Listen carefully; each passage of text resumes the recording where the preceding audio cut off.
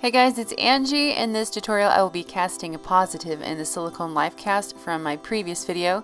If you have not seen that video yet, I will add a card to the screen now and also put a link below. I started by cleaning the release off the silicone using paper towels and alcohol. Next, I plugged any of the holes in the life cast with the same silicone I used for the cast. I mixed up a small batch of equal parts A and B of the Smooth On Body Double. Then I smoothed that into the nostrils and also used it to patch any air pockets. I placed my silicone mold into a bucket to help stabilize it. For the positive, I'm going to be casting it using UltraCal 30.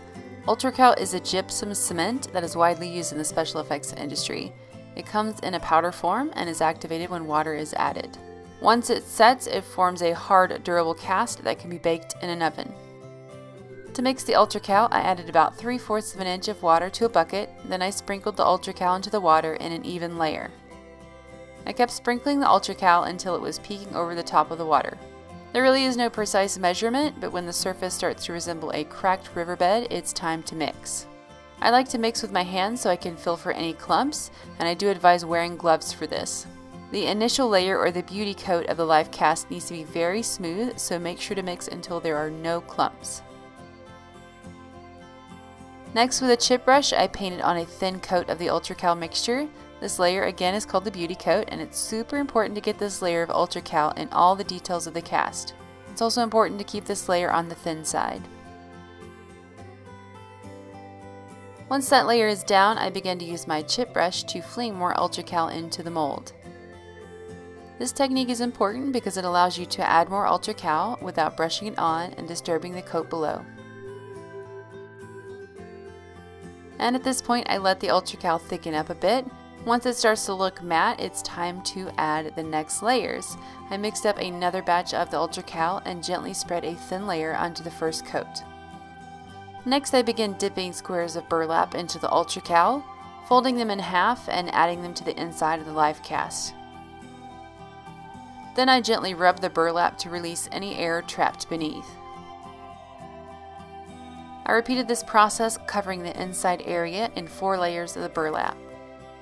This is going to create the bulk of the mold and also strengthen it as well. I do like to add a bar to my positives so it's easier to pop them open once I've molded. So for this I use shower curtain rods. I measure the length I need, then I place the rod into a vise, and then I use a handsaw to cut it. To add the rod to the mold, I stuff thin strips of burlap coated in UltraCal into the ends, then place it into the center of the positive. Then I'll reinforce the rods with more thin strips of UltraCal coated burlap. At this stage, the UltraCal is going to start setting, so I did add a final coat of the UltraCal. And once it is almost set, I will start smoothing out the surface with my hands.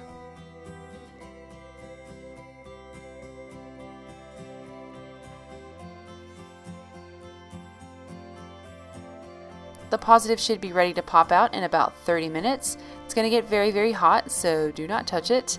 And once it starts to cool down, once it's slightly warm to the touch, go ahead and remove the plaster jacket and the silicone. As is the case most of the time, the positive is going to need some cleanup. I started by sanding off any little air bubbles of UltraCal. And for the bigger bits, I used a rotary tool like the Dremel to sand those off. For the edges, I used a rasp to sand off any of the sharpness. This is really important so that you don't cut your fingers while you're working with your positive. I will be using a product called Acryl 60 to patch up any holes and correct undercuts. I mixed up some of the Ultra UltraCal with the Acryl 60 to form a paste. Next I begin to fill in any areas with the paste and then I smooth them out with my finger.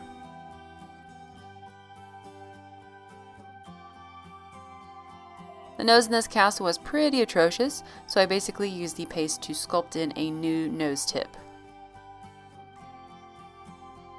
Once the paste is dry, I lightly sanded over it just to make it as smooth as possible. And that's going to be it for this tutorial. Hope you guys enjoyed it. If you did, make sure you hit that thumbs up button.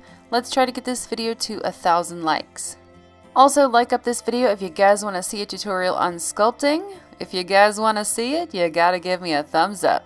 Otherwise, thank you guys so much for watching, and I'll see you in my next video. Take care. Bye.